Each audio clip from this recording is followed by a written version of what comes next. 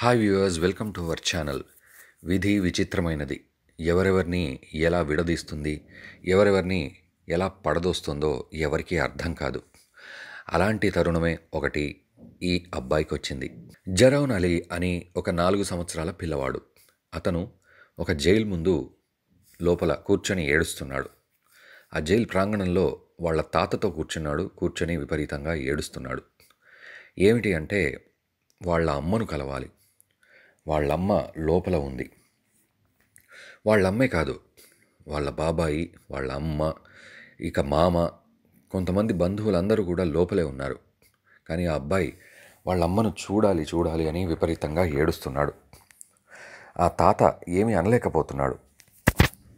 మరి ఏమిటి అంటే వాళ్ళను కలవడానికి కేవలం కొంత సమయం మాత్రమే కేటాయిస్తారు. అది కూడా నెలకొక్కసారి అలా ఉంటుంది. కొన్ని రూల్స్ ఉంటాయి పోలీస్ వాళ్ళకి. జైలు విషయంలో. బట్ ఈ అబ్బాయి మాత్రం సమయం కాని సమయంలో వచ్చి అలా ఏడుస్తూ ఉన్నాడు. ఏమిటి? ఏం చేయాలి? అర్థం కావట్లేదు వాళ్ళ తాతకి. ఎందుకంటే వీడేమో వాళ్ళ అమ్మను కలవాలని ఏడుస్తున్నాడు. అక్కడేమో పర్మిషన్స్ ఉండవు. అయితే ఆ జైలు అధికారులు ఈ విషయాన్ని గమనించారు. ఏమిటి? ఎందుకు ఏడుస్తున్నాడు? అలా ఎందుకు ఏడుస్తున్నాడు? అని దగ్గరికి వచ్చి వాకప్ చేశారు. అప్పుడు ఆ తాత ఆ విషయాలన్నీ చెప్పాడు. ఆ అబ్బాయి కూడా మా అమ్మను చూడాలి నేను మా అమ్మను చూడకుండా ఉండలేకపోతున్నా. మా అమ్మ నాతోటే ఉండాలి నేను మా అమ్మతోటే ఉండాలి అన్నాడు. సరే అమ్మను చూడడం సంగతి ఓకే. నీవు మీ అమ్మతో ఉండాలి అంటే కష్టం మీ అమ్మ నీతో ఉండాలి అన్న కష్టం మీ అమ్మ తప్పు చేసింది జైల్లో ఉంది. సరే నిన్ను కల్పించే ప్రయత్నం అయితే చేస్తానని అప్పటికప్పుడు ఒక లెటర్ రాశాడు జడ్జికి ఆ పోలీస్ ఆఫీసర్. లెటర్ రాసి ఎలాగైనా సరే రిక్వెస్ట్ చేయండి.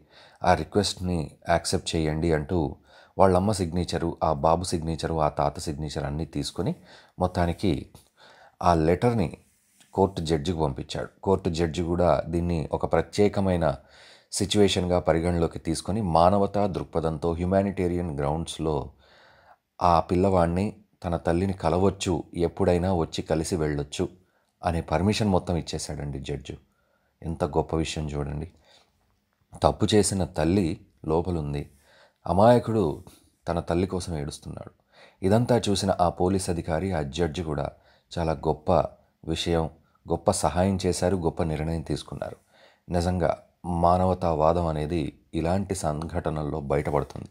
ఎప్పుడైనా కలవచ్చు ఆ పిల్లాడు వాళ్ళమ్మని. వీడికి మాత్రమే అది ప్రత్యేక స్పెషల్ పర్మిషన్.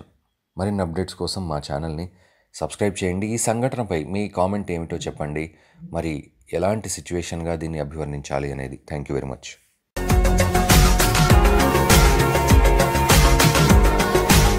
మరిన్ని అప్డేట్స్ కోసం మా ఛానల్ని సబ్స్క్రైబ్ చేయండి.